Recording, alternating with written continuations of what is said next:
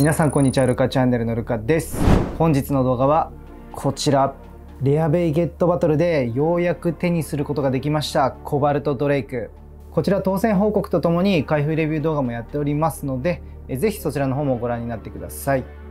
視聴者の皆さんもご存知の通り僕は絶賛今こいつをねガシガシに使い込んでおりまして、まあ、ようやく僕の 3on3 デッキに仲間入りしたということでデッキ紹介をやっていきたいと思います。でこちら今からねご紹介するデッキに関しては先日公式大会の後に約20名ぐらいで行われた 3on3 バトルの総当たり戦に参加してきて、まあ、その結果約13戦中12勝1敗かな。はいじゃあなんでねそんな絶好調の時に撮影してないのっていう話なんですけども、まあ、単純にねもう撮影を忘れて楽しんでおりました。はい大体そんなもんですね。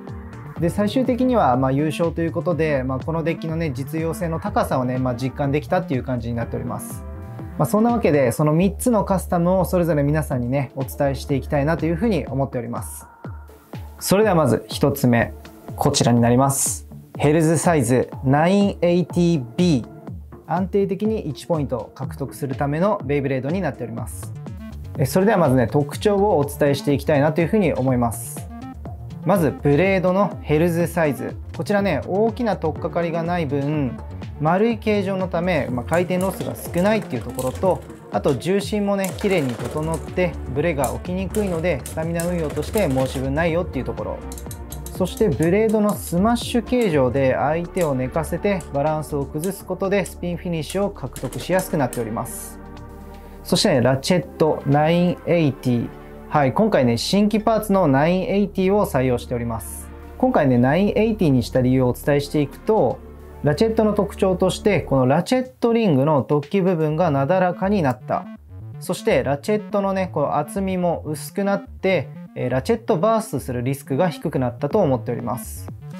で今までと決定的に異なるポイントは身長が若干ねやっぱ高くなりますでまあヘルズサイズのボールのカスタムって80派と60派さまざ、まなね持論を持ってる方がね、まあ、多いんじゃないかなっていうふうに思っております、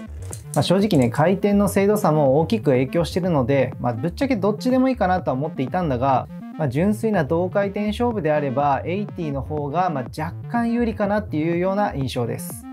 ただ80にした場合今までシャークエッジだったり特にこう身長の低いアタックベイに対してラチェットバーストを狙われるリスクがま大きいっていうふうに考えていたので、まあ、個人的には80のラチェットは今まで採用してなかったと。まあ、それが今回この980にしたことによってラチェットバーストするリスクっていうのはまほぼなくなった。まあ、そんな状況になったということでデメリットがなくなったのなら選択肢に入れようと思った流れです。最後はビットのボール。これねスタミナ軸としてはもう最高クラスです。こちら姿勢を崩しても後半まで回転する伸びがあるしシュート後程よい動きで相手のアタックを開始してくれる。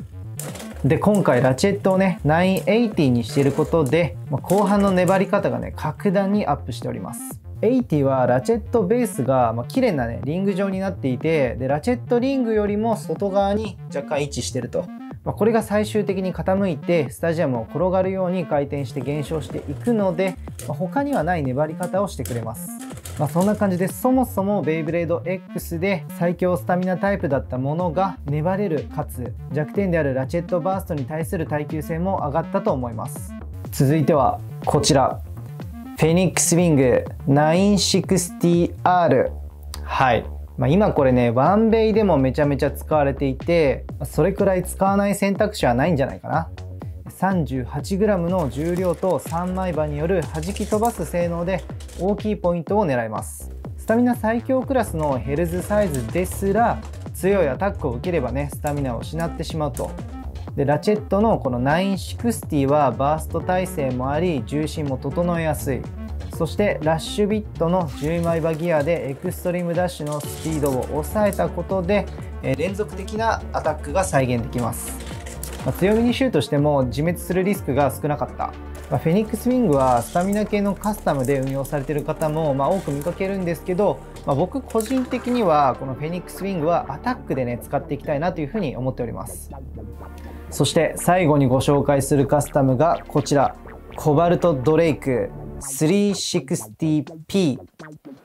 はい。こちらね。かなり入手困難なベイブレードとなっておりまして、まあ、お持ちじゃない方は全然ここね他のカスタムでも問題ないのでご安心をということで、えお話ししていきます。はい。まずはブレードね。コバルトドレイクは、まあ、フェニックスウィングと同じく 38g という重量を持っております。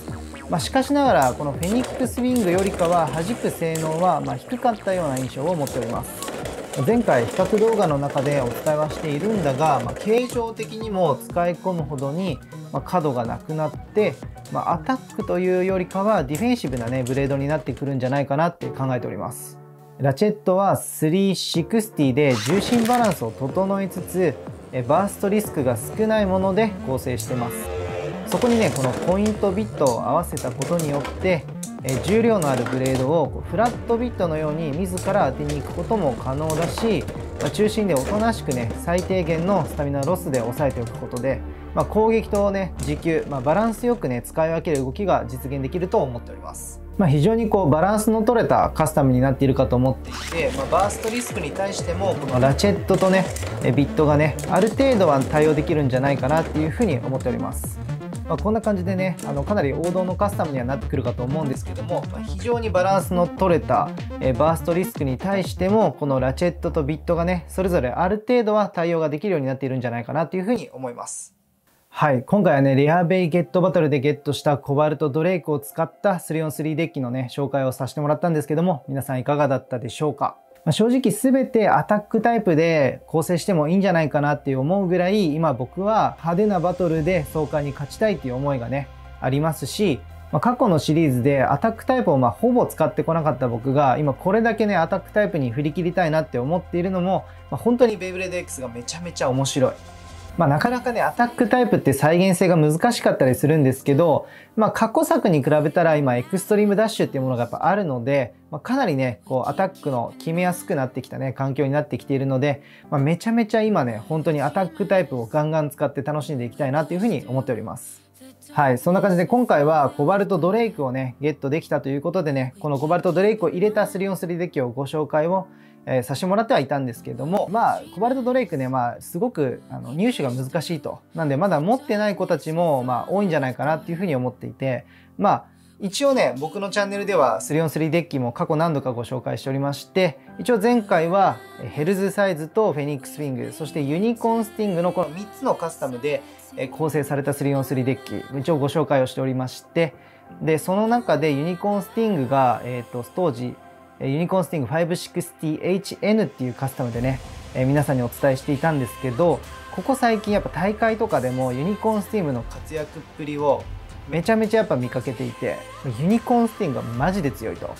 でそんな中、まあ、新規パーツがいろいろまあ、え、スフィンクスカウルから登場したということでまあギアニードルね。このギアニードルの使い道をすごくね、まあ、模索していたんですけどたまたまねちょっといろいろあの検証している中で発見があったということでまあ良かったということであの皆さんにもお伝えしていきたいのがこちらね。ユニコーンスティングの 560GN はい。